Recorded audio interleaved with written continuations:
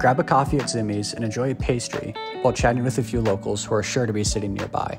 Zumi's prides itself on serving fair trade certified organic coffee, and it participates in the community by hosting events and showcasing local artists.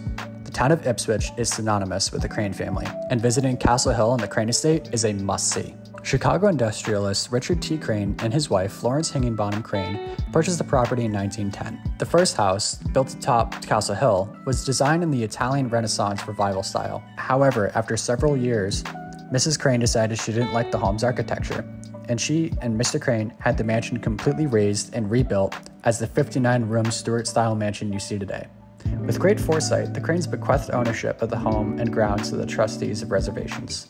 After a historic trip of that caliber, it's time to unwind and head to Cranes Beach, a national model for balancing the conservation of diverse habitats and wildlife, including being a nesting site for the threatened piping plovers. Whether you're there for a walk, to play in the sand, soak up the sun, or just take a dip in the ocean, Cranes Beach is by far one of the most beautiful beaches in New England.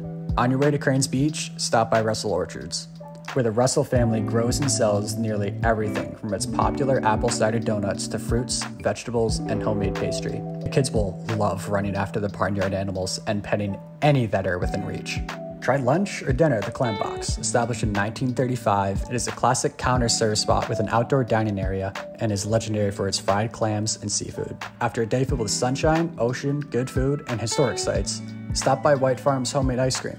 A great ending to a fun filled day.